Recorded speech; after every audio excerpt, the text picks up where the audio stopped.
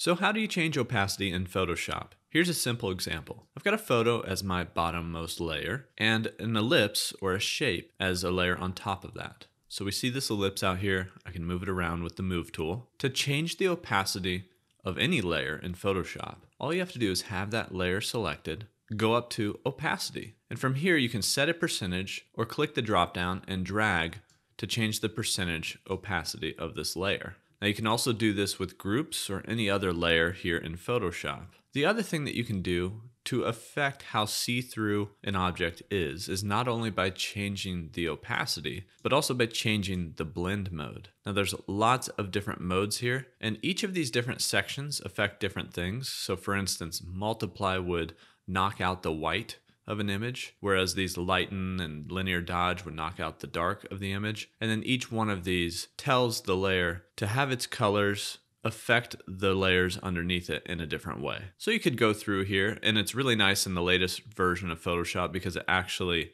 previews the changes that you're making as you scroll down through these different modes.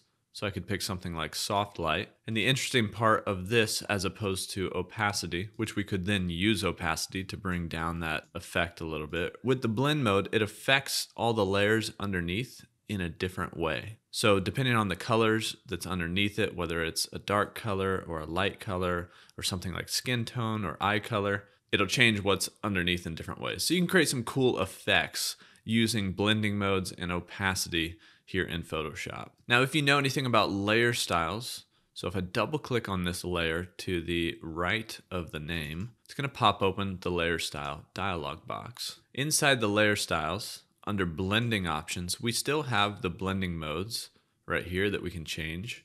We also have opacity right here as well. So you can adjust the opacity and the blending mode within your layer style dialog box, as well as out here in the layers panel. Now, while we've been doing this, you might have noticed something else, the word fill right here. And if you mess with fill, you might think it does the exact same thing. And while by some regard it does, what fill is doing is adjusting the transparency of what is filling the layer and not necessarily the effects of it, etc. So let me show you the difference between fill and opacity.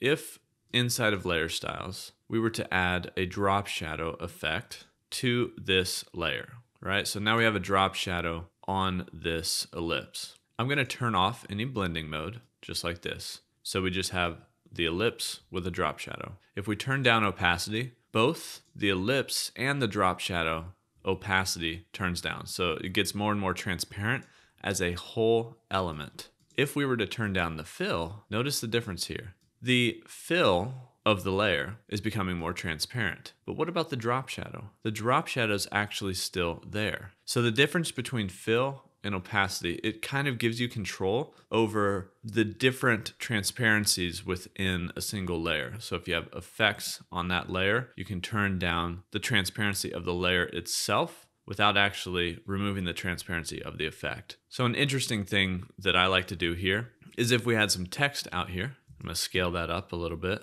but I wanted this text to actually be an outline. Let's go ahead and hide this ellipse. So I've got a text layer out here. Well, pretty simple. I could add a stroke to that text, just like that. We could change that stroke color to a similar yellow and hit OK. So there's a stroke on this text now, but I still have the color of the text. I want this to be outlined text, so I don't need the color. Well, I can't just turn down the opacity because it turns down both the stroke and the fill and any other effect. Just everything turns down. But if I turn down the fill, now the actual text color goes away, but my stroke stays. So any font that I use, and the cool thing is this is still editable. So I can just type in the word text or anything like that there. The stroke stays, but I turn down the fill. And that I can also do here in the layer styles. You'll notice here in advanced blending, the fill opacity is turning down. You can see this represented in the preview window right here too. What we're turning down is the inside portion of our object. So if you were curious and you'd ever turned down fill and you, were just on an image or something and it seemed to just be transparency and you didn't know the difference, hopefully I explained a little bit better what the difference between those two are. That's how to change opacity here in Photoshop.